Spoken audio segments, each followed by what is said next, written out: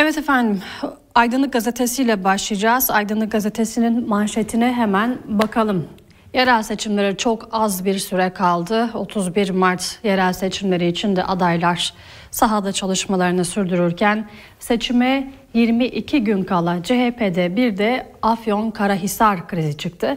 Belediye Başkan adayı Burcu Köksal'ın seçilirsem belediyenin kapıları Dem Parti hariç her partiye açık olacak çıkışına İmamoğlu'ndan tepki geldi. Deme sahip çıktı İmamoğlu. Telaşın arkasında kent uzlaşısı bozulur mu paniği var.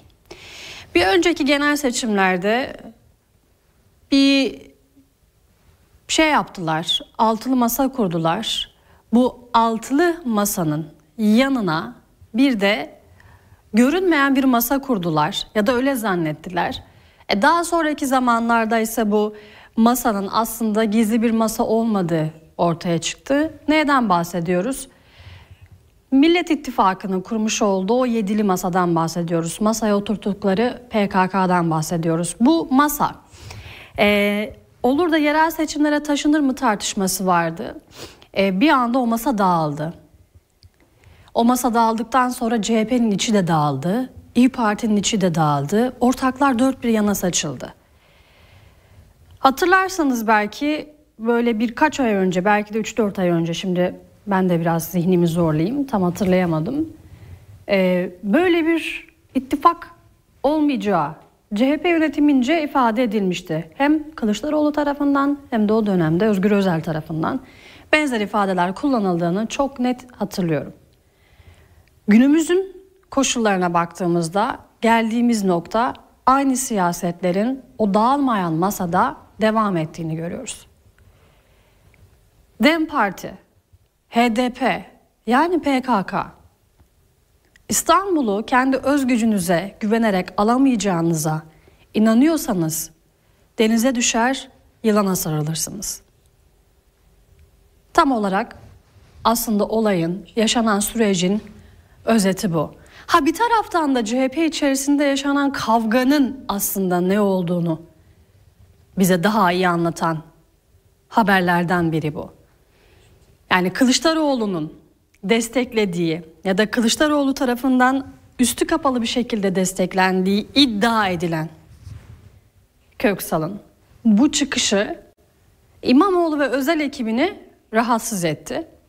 Yani parti içerisindeki kutuplaşma, e, cephe savaşlarının da devam ettiğini görüyoruz. Herkes pusuya yatmış durumda ve seçim sonuçlarını bekliyor. Bakın İstanbul'u, Ankara'yı, büyük şehirleri kazanmak ya da belediyeleri kazanmak değil mesele. CHP'nin içerisinde çok daha büyük bir kavga yaşanacak.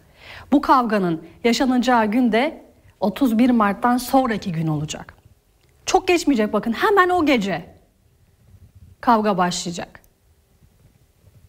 Eğer zayiat ağır olursa verilecek hesap da büyük olacak diyor kimileri.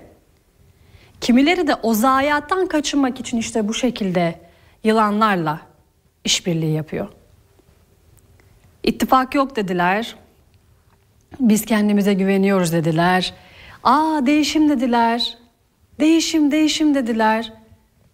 E geldik baktık. Hiçbir şey değişmemiş. Aynı zihniyet, aynı siyaset, üstlerindeki ceket, içlerindeki gömlek. Ayakkabıları da aynı, içindekiler de aynı. Kıyafetler, insanlar, bireyler. Adına ne derseniz deyin. Cumhuriyet Halk Partisi'nde DEM Parti tartışması bir kez daha gün yüzüne çıktı. Köksal'ın açıklamalarının ardından linç kampanyası başladı. İmamoğlu kendine ya başka bir iş ya da parti bulacak dedi. İmamoğlu'nun telaşının nedeni İstanbul'daki dem oyları. Anketlere göre İmamoğlu dem parti olmadan %38'lerde kalıyor. Dem Parti İstanbul'da 22 ilçede aday göstermedi. Bazı meclis üyesi adayları CHP listelerinde bulunuyor. Büyükşehir adayları ise ciddi bir kampanya yapmıyor. E, şeklen adaylık söz konusu yani bu yolla DEM Parti ile anlaştılar eleştirilere perdelenmek için milliyetçi oylar havuzlanmaya çalışıyor.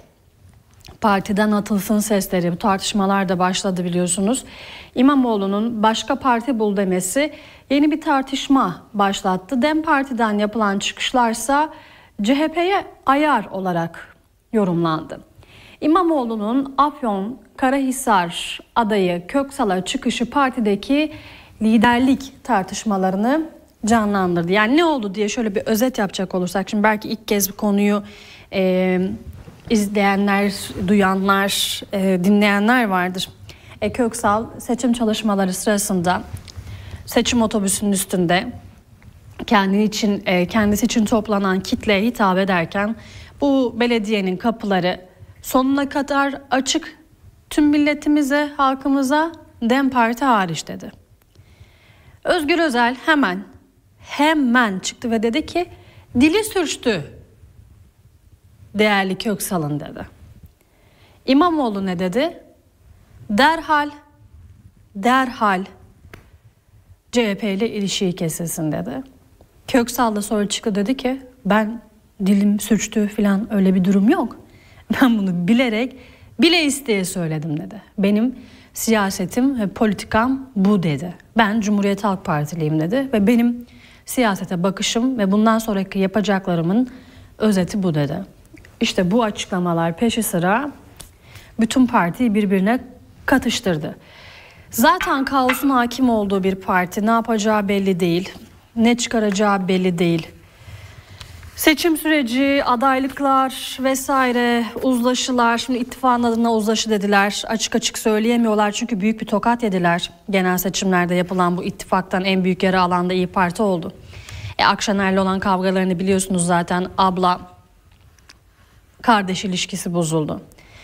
Yakın dostlar birbirini sattı.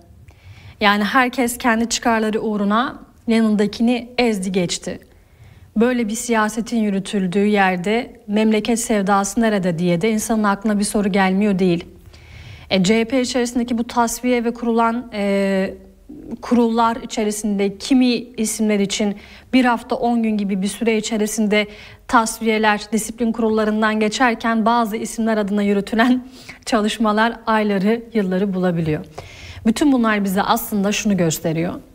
Bugün e, Cumhuriyet Halk Partisi e, Mustafa Kemal Atatürk'ün altı okuyla siyaset yapan bir Cumhuriyet Halk Partisi değil. Artık bunu bir kabul edelim. Zaten e, Sosyal Demokrat Partiyiz biz. Sosyal demokrasi diyerek yola çıkan ve bugünün koşullarında liberallerden, e, demokratlardan, e, Kürt milliyetçilerinden e, bu devlete düşman olan her kesimi içerisinde barındıran etnik, dini, dili ayrımların yoğun olduğu bir partiye dönüştü. Bu partinin şöyle bir silkelenip kendine gelmesi gerekiyor. Bunu yapacak olanlar da ben değilim, sizler değilsiniz. Biz eleştirebiliriz, siz tepki gösterebilirsiniz. Bunu yapacak olanlar o Cumhuriyet Halk Partisi üyeliğinin altında imzası bulunanlar. Ahmet, Mehmet, Ayşe Fatma artık kimse hesap sorulması gerekiyor. Bunlar artık e, toplumu kaldırabileceği, kabul edebileceği bir noktadan çıkmış durumdalar. E, ittifak masaları dağıldı. Bu kent uzlaşıları da bakalım ne kadar yürüyecek ya da İmamoğlu'na ya da İmamoğlu demeyelim Cumhuriyet Halk Partisi'nin e, geneline çünkü bunlar bir ekip çalışması bir ekip siyasetiyle belirleniyor. Kalkıp da ben sabah şunu söyledim diye bütün parti onu yapmıyor. E, bunları yönlendiren danışmanlar var. Yani bir ekip olarak bir merkezden çalıştıkları için bu merkezin e, 31 Mart gecesi bakalım e, toplumdan alacağı yanıt ne olacak? İstanbul o yüzden çok iyi bir karar vermeli. Çünkü e, kabul etseniz de etmeseniz de bazen hayır desek de demesek de mesele İstanbul'da kilitleniyor ve Türkiye'nin siyasetinin belirlendiği ve geleceğinin tespit edildiği ve çıkış noktası olan yer dönüp dolaşıp İstanbul oluyor.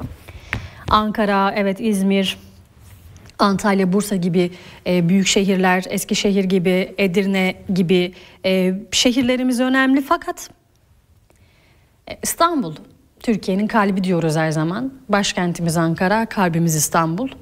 E, kalp o yüzden kalbe iyi bakmak lazım.